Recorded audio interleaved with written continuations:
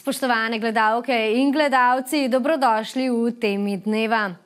Ne le, da trenutna Šarčeva vlada v odhajanju nima kaj velikega posluha za podjetnike, leti se soočajo tudi s problemom neplačevanja izstavljenih računov. Več pa v prispevku. Poglejmo. Šarčeva vlada, ki je sicer v odhajanju, je bila prošnjam podjetnikov večinoma nenaklonjena. Situacijo pa je zaostrovala še nadkoalicijska levica, ki je želela še bolj ožeti podjetniške prihodke, saj je bil tretji nosilni cilj levice dvigniti davek na dohodek pravnih oseb vse do 22 odstotkov. Predtem ga je za dve odstotni točki že dvignila vlada Alenke Bratušek. Vendar pa se podjetniki ne borijo le z nekaterimi politiki, ki za podjetnike očitno nimajo niti najmanj posluha, temveč tudi s problematiko neplačevanja, ki je ena najbolj perečih v gradbeništvu. O tem pričajo številni medijsko odmevni primeri, vse od SCT, Vegrada do Primorja. Nekdanje delavce Vegrada, ki so se po leti 2011, da bi opozorili na svojo stisko, odločili za stavko z neplačevanjem najemnine v samskem domu, v katerem so živeli, je stečajna upraviteljica Vegrada Alenka Gril postavila pred dejstvo, da bodo zaradi neplačevanja najemnin postopoma začeli aktivnosti za zapiranje samskega doma. In to kljub temu, da so bili delavci pripravljeni od zneska, ki jim ga je dolgoval Vegrad, odšteti neplačano najemnino.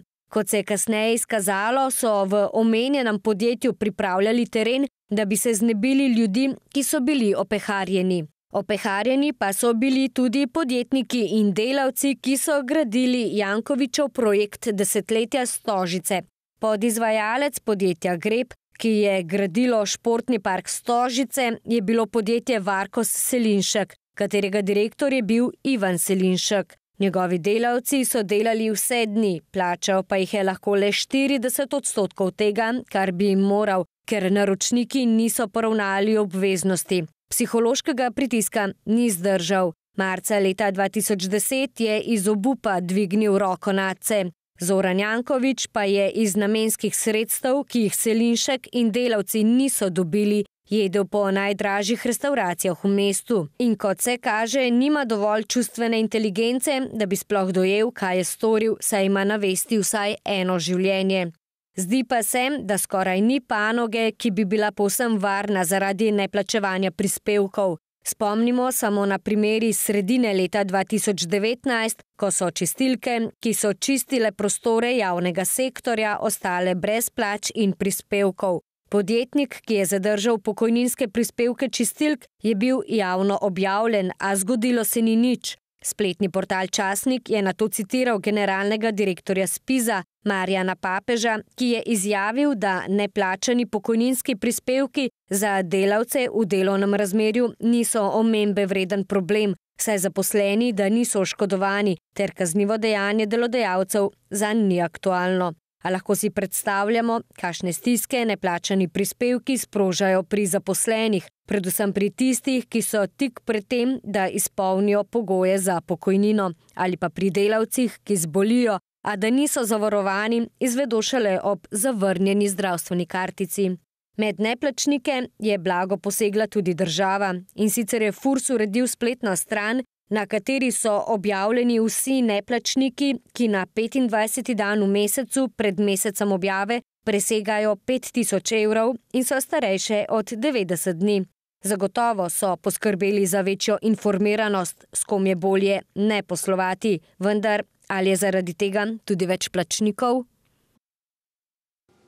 V studiu pa pozdravljam podjetnika Silva Habata. Gospod Habat, lepo pozdravljeni. Pozdravljeni. S kakšnim konkretnim primerom neplačevanja pa ste se soočili v vašem poslovnem življenju? Uh, neplačevanje v Sloveniji je bilo uh, na tako visoki ravni, da je bilo izredno težko delati uh, v gradbeništvu. Uh, Uh, očitno je bilo najtežje prav v gradbeni stroki in uh, velika podjetja gradbena so uh, dobesedno opustošila malo gospodarstvo, uh, male podjetnike. Uh, kooperanti različnih branž, električni vodovodar, centrale, steklar, keramičar in vsi drugi, ki so še delali pač pri teh velikih podjetjih, so bili zelo veliko krat izigrani in pa neplačani za svoja upravljena dela. To je bil res velik problem in je veliko, veliko malih podjetnikov propadlo in so morali zapreti svoje obratovalnice. Pravite, da so veliki nedotakljivi in da jih država dejansko sploh ne more prisiliti k temu, da bi plačali svoje obveznosti. Ali lahko to malo na širše obrazložite? Seveda je krivda na, na državi, ona bi lahko, če bi imela interes, pa očitno ni pravega interesa, bi lahko uredila to zmedo na tržišču. Saj, če ne plačamo samo nekaj obveznosti, imamo mali ljudje takoj davkarijo in državo za vratom. Medtem ko tule pri velikih gradbenih firmah pa to ne deluje. Pa bi rekli, da se pri teh neplačnikih, pri tem problemu neplačevanja pojavlja vedno eden in isti vzorec? Ja, vsekakor. To so bile gradbena, velike gradbene firme in pa veliki inženiringi in to je bilo kar pisano pravilo, da se ni plačevalo ali pa se je račun enostavno tako zmanjšal in zdesetkal, da včasih mnogokrat ni bilo pokrito niti materialni stroški. Ampak kako ta, to kolesje deluje? Kdo začne s tem in potem kako se to nadaljuje? Kako ste to vi sami občutili? Velike firme enostavno niso plačale računov in ni bilo možno izterjati ničesar. To so propadle gradbene firme, Vegrad, SCT, Primorje, Energoplan, potem ZIL inženiring, gospod Nestor Mankoč je bil direktor takrat in so imeli zraven še hčerinske firme. Na teh hčerinskih firmah so naredili dolgove oziroma niso plačala, plačali podizvajalce in enostavno so zaprli firmo in je ostalo toliko podizvajalcev neplačanih. In to očitno državi to odgovarja in to paše. In nenazadnje zelo pomemben dejavnik na objektih se srečujemo z različnimi mojstri in se pogovarjamo. Vsi rabimo delovno silo, pa ne upamo zaposlovati, ker je preveč nereda v našem prostoru. Tako da je tudi ta problem lahko in brezposelnost narašča oziroma bi mi lahko zaposlovali, pa si ne upamo zaposlovati. Omenili ste nered, kaj točno pa ste s tem mislili? Kakšen nered je trenutno v slovenskem gospodarstvu na področju zaposlovanja? Še vedno, še vedno je nered, to, kar smo omenili, in zato ne upamo zaposlovati, ker mi podjetniki mali nismo tistega kova, da ljudi postavimo na cesto, kakor se to dogaja v večjih firmah. Enostavno ljudi na cesto, to nam niti ne gre v kontekst. Omenjate gradbeništvo. Je to panoga, kjer je tudi sicer največ neplačnikov? Je to, bi rekli, tako najbolj rizično področje? Prav gotovo je gradbeništvo daleč najbolj na udaru glede tega neplačila, neplačilne discipline. Samo omenim naj, da, da nas je ta toliko prizadelo, ta neplačevanje, da smo morali po kredit na Domžalsko banko, zato da smo lahko poplačali svoje dobavitelje, ker mi nismo ostali nikomur dolžnemu in dolžni in tudi ne nobenemu zaposlenemu. Vse so bili, vsi so bili poplačani, kot je treba. Samo mi smo pa morali vzeti kredit zaradi tega. Vi torej niste ostali nikomor dolžni, so pa ostali dolžni vam, ali se počutite opeharjene? Zelo, zelo, ker to ni šlo za majhne zneske, to je bilo številka, šestmestna številka in to je bil za nas tak velik udarec, da smo osem let resnično resnično iz rok v usta, da smo to vse premagali, pa vendar moram reči, da nismo bili kljub temu, nismo bili niti en dan blokirani. To se štejem kar uh, v veliko pozitivno stvar. Zagotovo to je svoj vrsten uspeh, sploh ko vidimo, kako so nekateri državi, Furso konkretno, dolžni na milijone, pa jih pustijo na miru, medtem ko je lahko mali SP, obrtnik, dolžan že neko simbolično vsoto, pa mu davčna diha za vratnik. Točno tako. Z, zopet smo pri, eh, pri malih ljudeh in uh, očitno je en sloj ljudi, uh, ki so nedotakljivi, 90% malega ljudstva, malega naroda, seveda pa se to ne more niti v sanjah privoščiti, ker imajo takoj državo za vratom. Omenili ste ta sloj ljudi, ki si očitno lahko privoščijo vse. Kdo so ti ljudje? To so uh, fer... Katera podjetja imajo tako? Podjetja, uh, enih že ni več, eh, tiste, ki sem že prej omenil.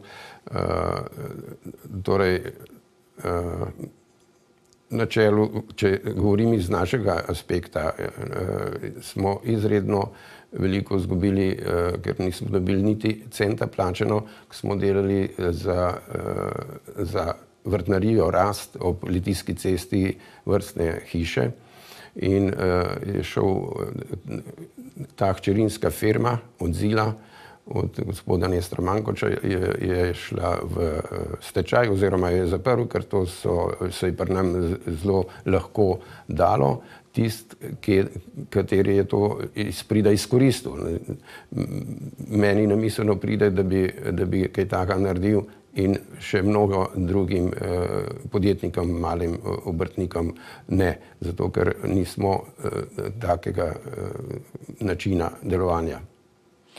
Um, zdaj me pa zanima, um, menda je bil prvak tega načina neplačevanja, tega vzorca, uh, prav Jankovičevo podjetje Elekta. Ali to drži? Kakšne so vaše izkušnje?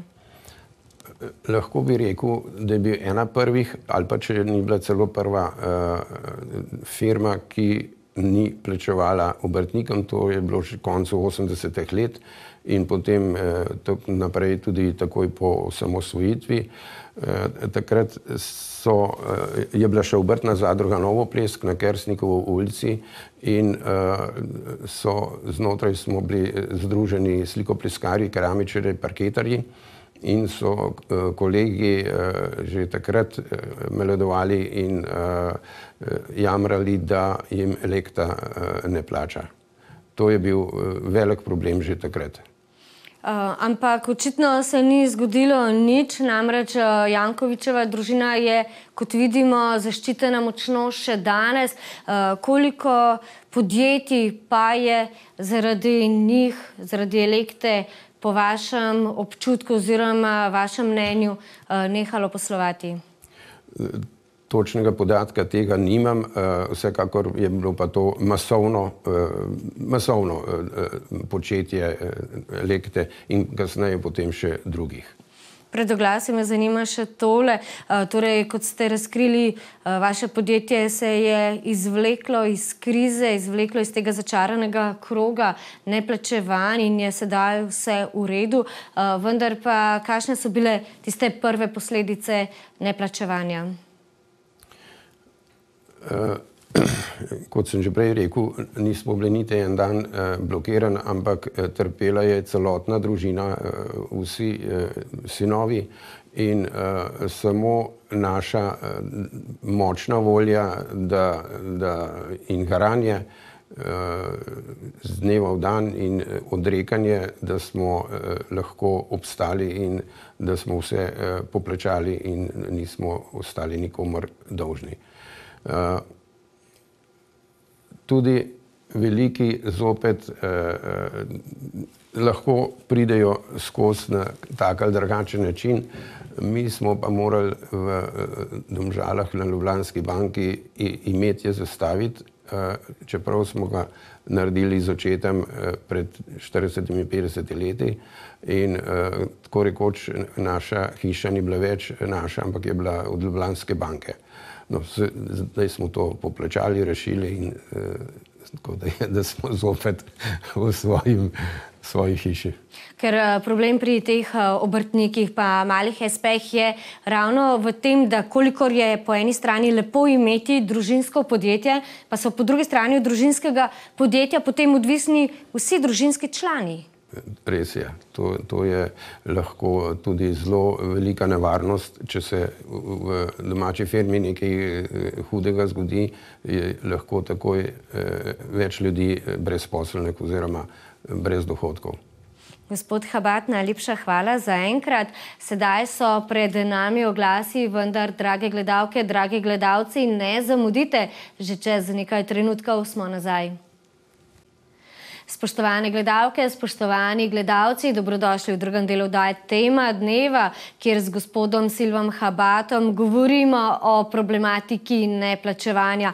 Gospod Habat, kako pa gledate na vse te tajkune, naprimer iz SCT-a, Vegrada, eh, Energoplana, potem Primorja, ki so s tem uh, kroničnim, če tako rečem, neplačevanjem uničili toliko in toliko življenj? Dobesedno je bilo to upostošenje malega gospodarstva in uh, vsekakor ne moremo odobravati eh, takega načina, ampak uh, kot sem že omenil, je problem v državi, ne samo v teh firmah, se bi država lahko z lahkoto to uredila, če bi imela voljo to urediti. Torej pravite, da je država pri tem početju sokriva sem prepričan, da ja. Posameznikom je poleg tega dovoljeno, da imajo celo več podjetij naenkrat, pa potem vemo, kako to gre, sestrsko podjetje, slamnato podjetje in tako naprej. Um, ali se strinjate s takimi uh, vzorci oziroma s takim uh, početjem, ki oziroma država dovoljuje, ne, da, da imajo posamezniki več podjetij, uh, potem pa Vemo, kaj sledi, da enem podjetju ustvarijo dolgove, premoženje prenesejo na drugo podjetje.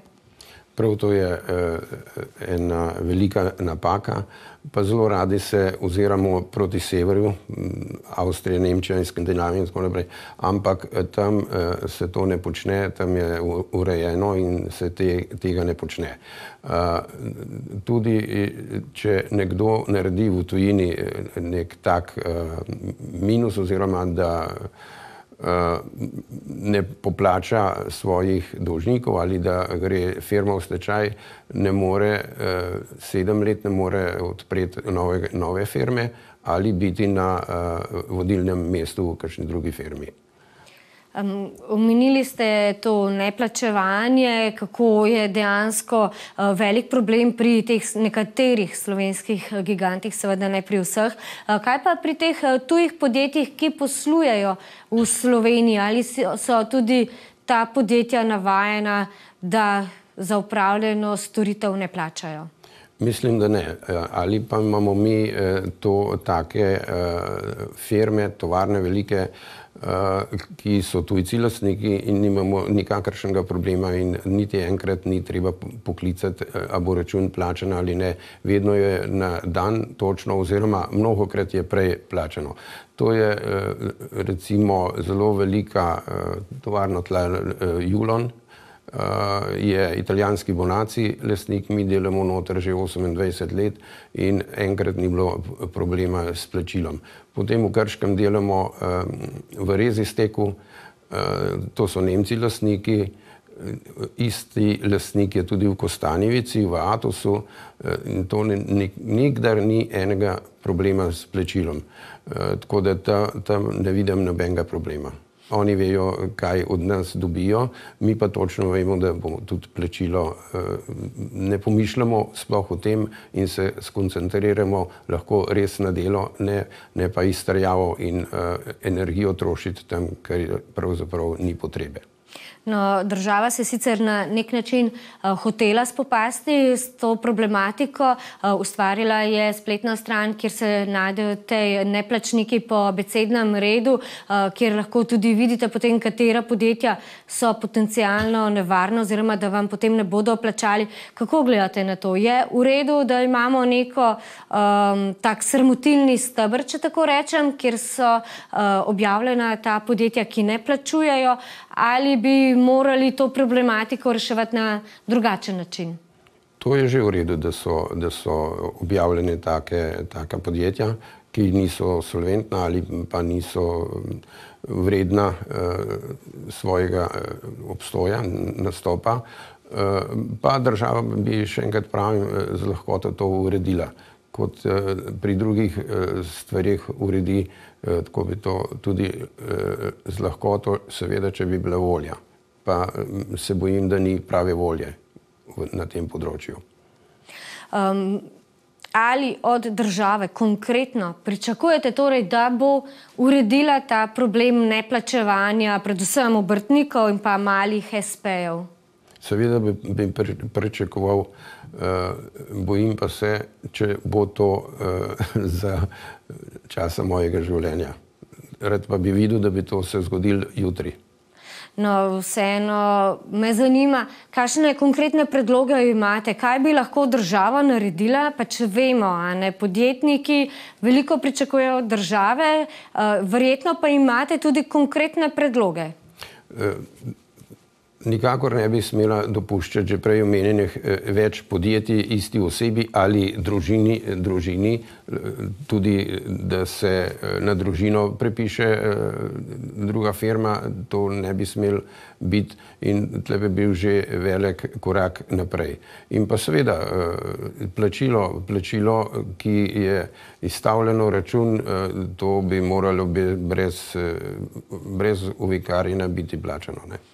Torej, bi morali te vrednote, eh, te podjetniki dejansko ponotraniti in potem slediti, torej plačevanju in to narediti. Eh, Veliko krat se v eh, povezavi z neplačevanjem govori tudi o kaznih, torej ali so, ali jih ni, ali so dovolj visoke. Kakšno pa je vaše mnenje? Bi morda, če bi nekoga dejansko povedano usekalo po denarnici, bi bilo potem boljše, bi bila situacija boljša?